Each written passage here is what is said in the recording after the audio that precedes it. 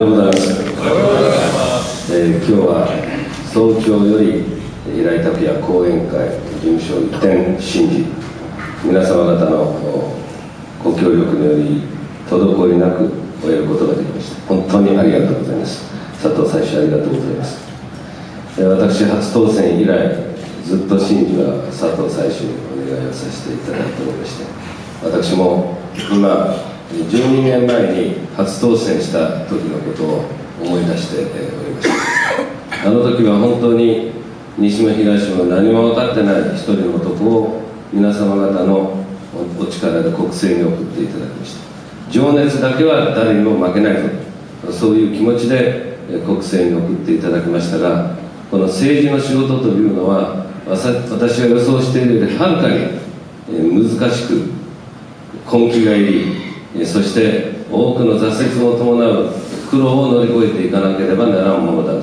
ということを今12年間務めさせていただいて身に染みて感じておるところでございます、まあ、そのような意味で今私は、え5期目に挑戦をさせていただくことになりますが、どの時よりも一番厳しい日本の情勢の中で私自身の責任はかつてないほど重いと思います。もはや情熱や目標やスローガンだけを語っていたのではダメだ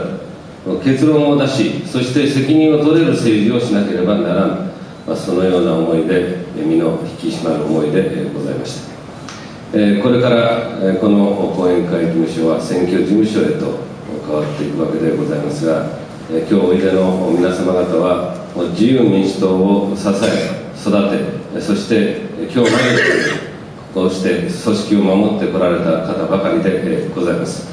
その意味で自民党が立ち直らなければ日本の国は良くならない。そういうお気持ちを私はひしひしと感じております。ですから皆様方と一緒になって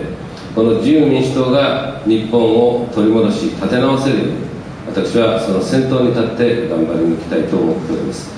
えいよいよ戦いが始まるわけでございますが私も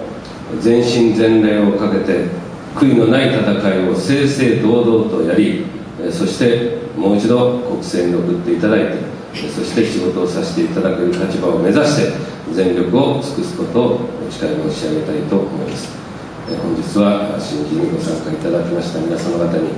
心から感謝を申し上げまして御礼と決意の挨拶とさせていただきます。皆さんありがとうございました。